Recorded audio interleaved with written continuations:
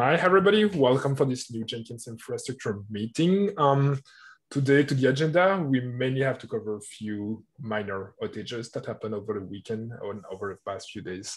Um, the first one that um, I want to mention is over the weekend, um, the job used um, to to provide permission to publish new pub links um, was broken, and that job is running on trusted.ci, which means that people who try to use the new workflow to automatically release uh, plugins um, was broken. So considering that we only have five plugins using that workflow, that was not a major issue, uh, but still uh, for those people who try to release a new plugin. I think one of the one of the main, I mean, when I haven't really looked at what was the root cause, um, so maybe Gareth um, can help on this, but at least what it reminds us is Trusted.ci is a very protected Jenkins instance with only few people, where only few people have access to it, um, which means that when we have an issue on that on that instance, it takes us a long time to discover the issue. So one way to detect problem there would be to configure notification like sending emails when a job is failing or um, notify on IRC. So we definitely have to investigate some options to be notified about failing jobs on that instance. So just to remind people, um, Trusted.ci is a Jenkins instance running in a private location where we run really few jobs, but those are quite important. So typically we build Jenkins Docker images, we generate Jenkins.io website. Um, we have our jobs name a release permission updater, which um, manage permission, which allow basically the which handle the permission and grant, for instance, plugin maintainer to publish artifacts on our Artifactory service. Um, and so typically that was the job that was failing over the weekends. Um, so everything has been resolved. Um, for some reason that I still have to investigate, um, Damien had to restart that, that instance and lost the public IP of that machine.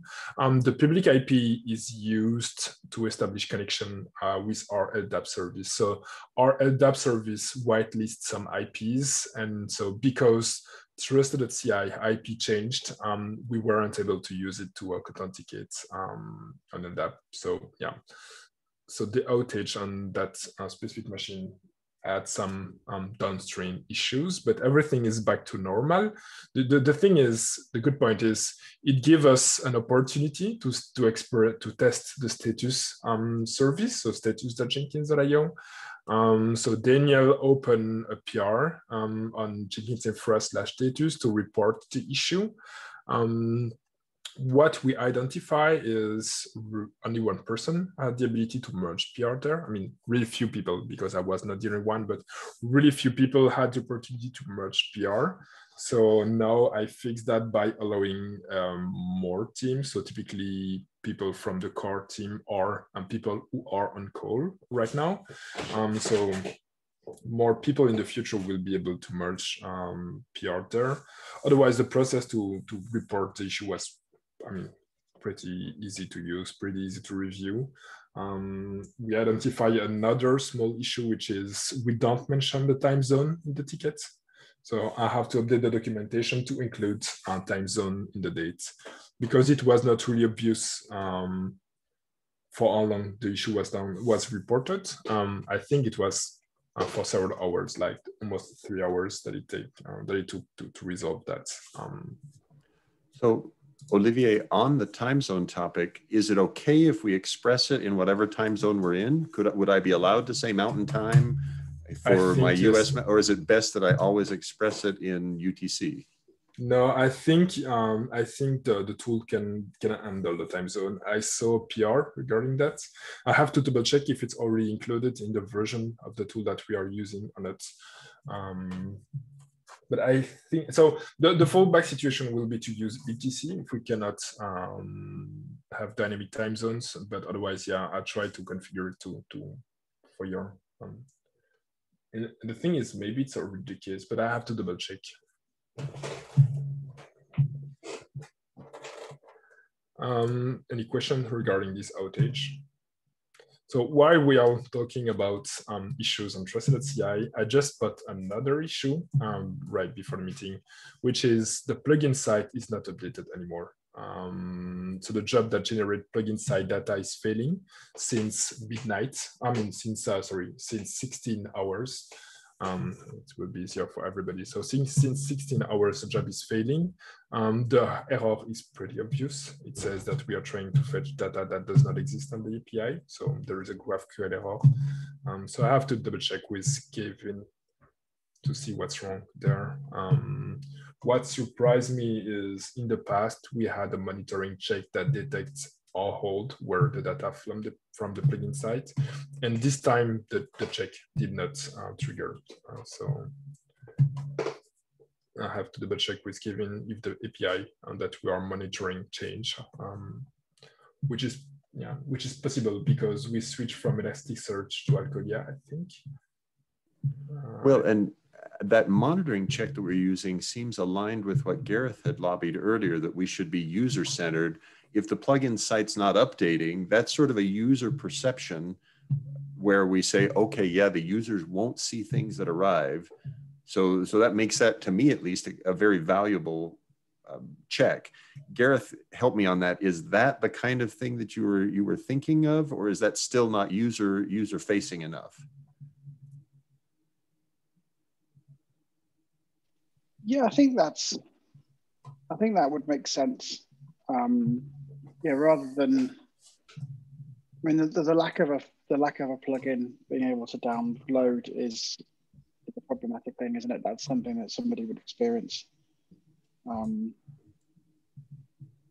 um, I mean, just going back to the, just going back to the, the outage over the weekend, the kind of thing that you'd, whilst we could monitor the failure of the job, what we're actually interested in is not necessarily the failure of the job, but the failure of being able to release.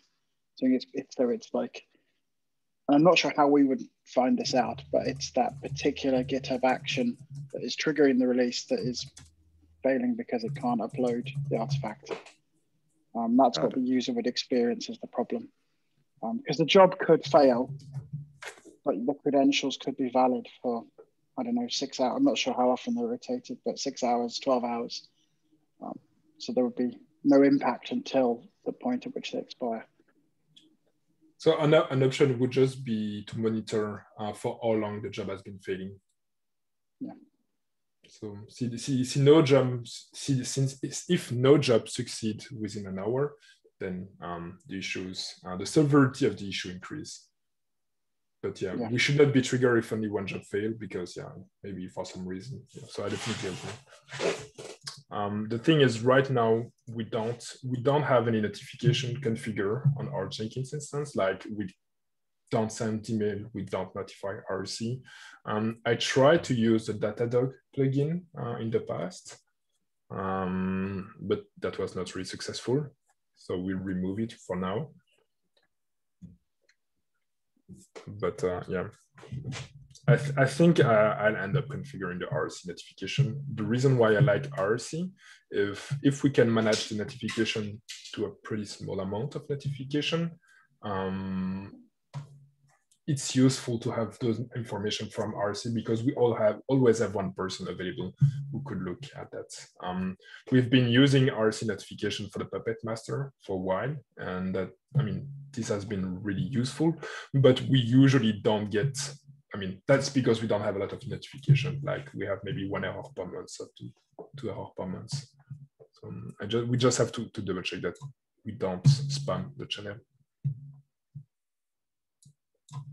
Um, and would those notifications go to Jenkins-infra or or what what for, for, for the puppets for puppets uh, change it goes to, to Jenkins Infra. Yeah. Sometimes okay, you so see pup, you sometimes you see something like um, puppet puppet failed on that machine, and so that pretty obvious that um, for some reason puppet apply did not work on that machine.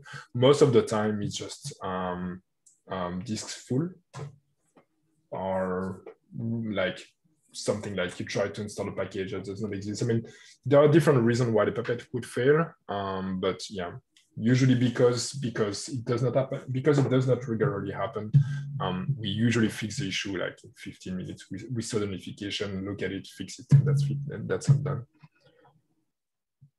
So we should definitely but another thing uh, we should uh, start migrating some of the job running on trusted.ci on infra.ci uh, some could easily be moved. Um, the, the, those, for instance, that I have in mind are um, the job that generate Javadoc, the job that generates um, Jenkins.io website.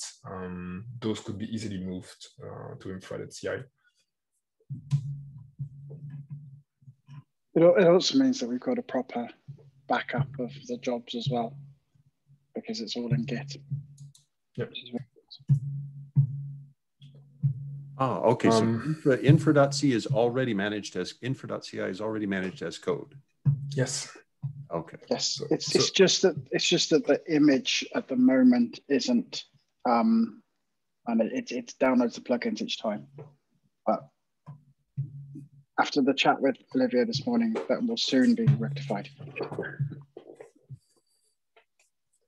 So yeah, that, that was a minor permission issue that I had to fix this morning. Um, so as Gareth mentioned, um, he has been working on a process to automatically um, build Docker Jenkins Docker image for the Jenkins Infra project.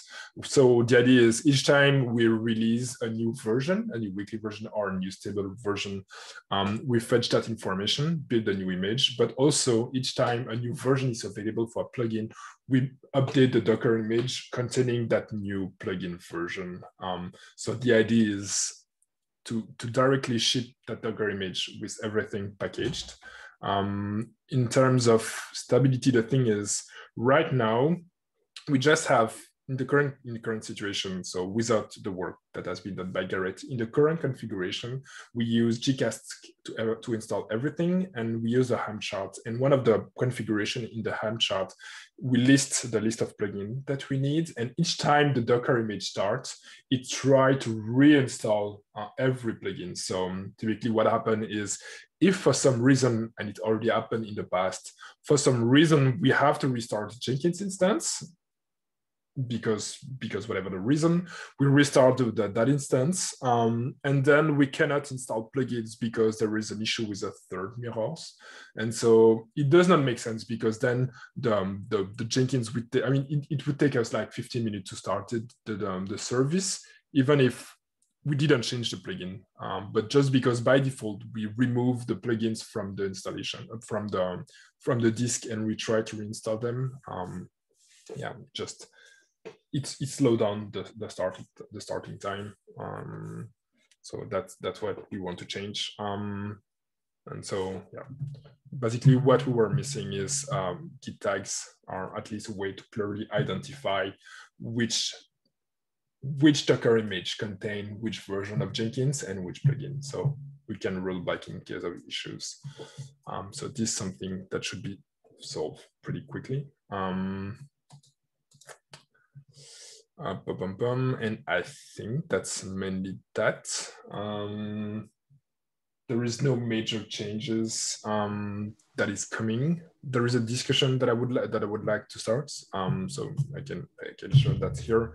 So the idea is I'm looking for ways to manage permission of contributors, of people who contribute to the Jenkins Infra organization and who don't contribute anymore. So the idea is to remove those, remove, remove the right permissions so to be sure that if they don't contribute, they cannot merge a PR. Um, but at the same time, um, I would like to keep them in the Jenkins Infra organization so they can still provide um, we can still notify them if we expect some PR reviews or whatever. So I've been thinking to create a group that I would name alumni. And so by default, every people, every person who don't contribute anymore to the project, I would just put them in that uh, specific group. Um, so we would, I mean, yeah, we would be able to, we would still be able to notify them if we need some uh, reviews. Um, and their PR would still be considered, but at the same time, we would need someone more active to merge the PR. Um, to people that I have in mind, that's uh, the people that I have in mind are people like Tyler Kozuke, um, Marky Jackson, who officially stepped down, And so we have a lot of people in the Jenkins Infra organization who haven't who haven't contributed to the project for a really long time. And so, yeah. I don't know if you have opinion on this. Yeah, so the concept of an alumni group sounds really good. And so you say it would allow them to read, but not merge so they can still see what's happening and give their insights. Yeah. So the idea is to give them read permission to public repositories, uh, not private repositories. Um, that's one thing. Um, I'm maybe a bit concerned about the notification because if they are in read-only on every Git repository, by default, they will receive notification each time someone open a PR or whatever. Um, but yeah, then then that it will be the responsibility of the person to opt out. Um, why, why would they get notifications and why do they need read access on a public repo? Is it just good? That's it's a public repo. So that's a public repo, but having them in a team would allow us to, to ask them to, to, to notify. Um, so you could just uh, put their name and they will receive a notification specifically. But you, but you wouldn't use the team though. No, you would not use the team.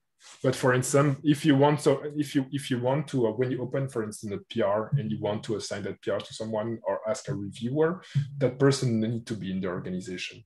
So they need to be in a team some way. Yeah, yeah. I mean, yeah, they need read access for you to make them a reviewer.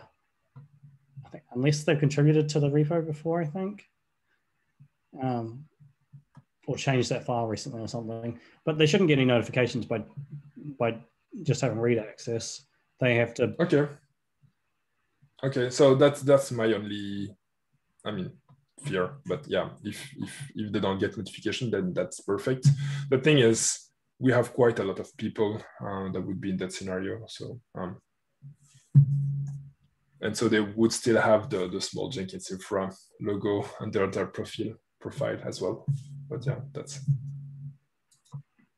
that's it. But yeah, I have to send. I'll send a notification on Jenkins family list um, later today. Otherwise, yeah. Any other thing you want to bring here? Otherwise, I propose to finish the meeting earlier. So one yes. time, two time, yeah. Uh, Sorry, Mark. Oh, go ahead, Tim. I was just going to ask: Has anyone done the work for the? Um, it says five plugins affected for entrusted CI data. So has someone synced the plugins that were down for entrusted CI was down over the weekend? Has someone done the sync? So what are you talking about trusted CI in the release update permission? Um, so when Trusted CI was down, um, whatever plugins were released from I think Friday to Monday um, won't have been published to the updates. Um, um, well, to get.jenkins.io. Okay. Yeah, no, um, I haven't. I haven't that yet. Yeah, the update center by default only syncs um, the last three hours of releases, and it relies on the fact that it runs every three minutes. Um, there's flags that you can run to the update center to increase that number, or you can sync everything, but syncing everything takes hours.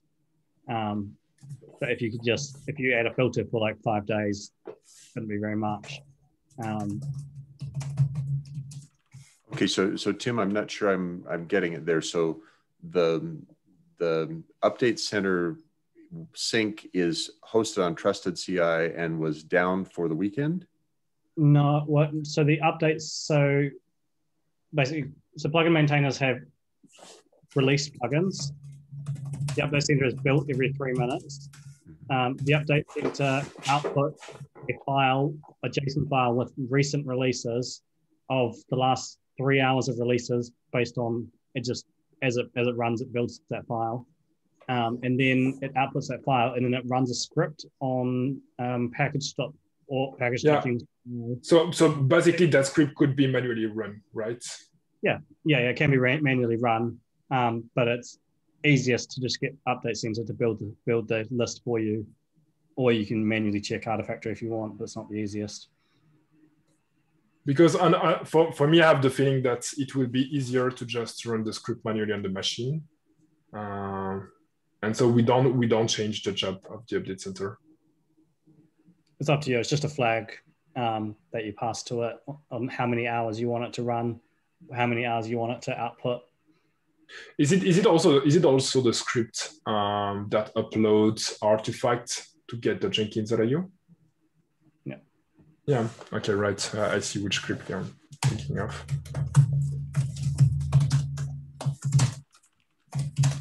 So and so we have to be sure that it take into account plugins since Friday.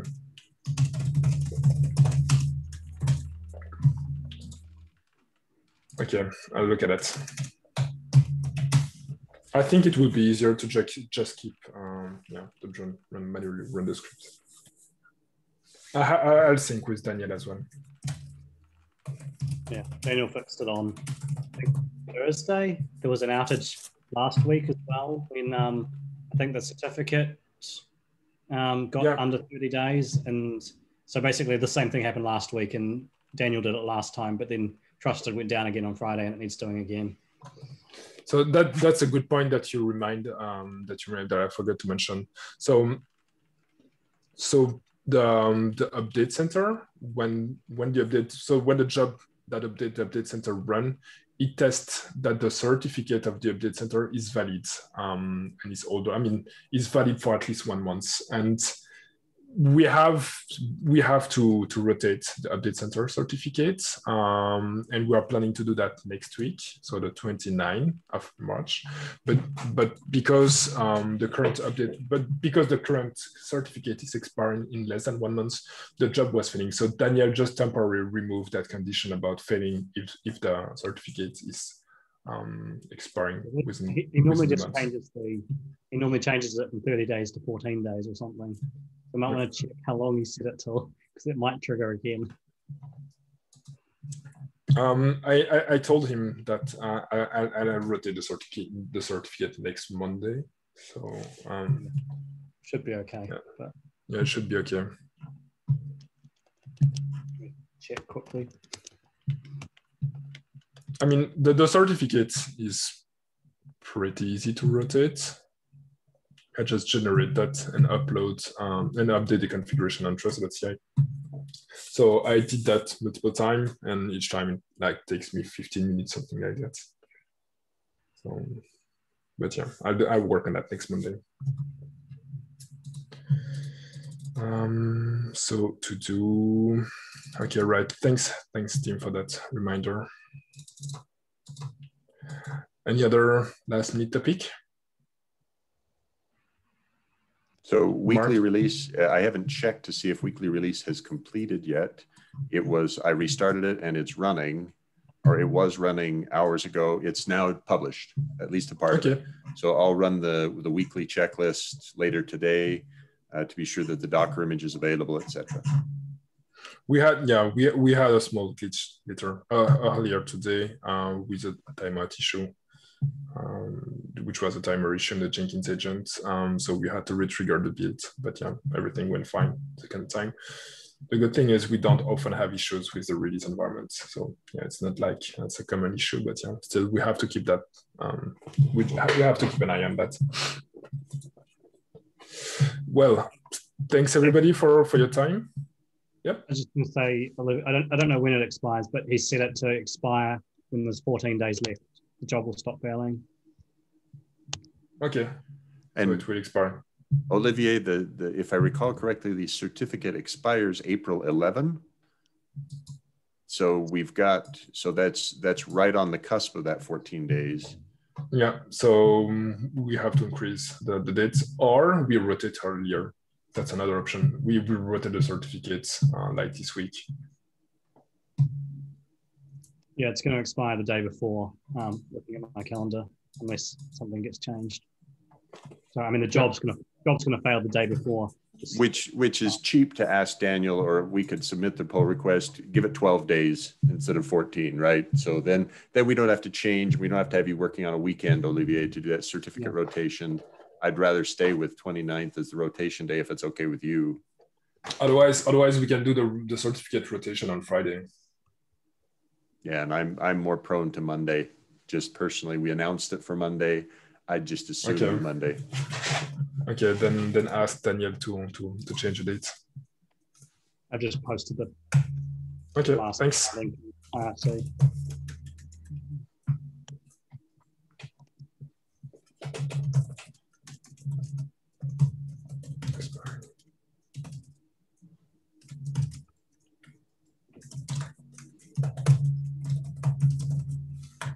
Okay, thanks everybody for your time. Um, and see you on IRC. Have a great have a great day. Bye bye.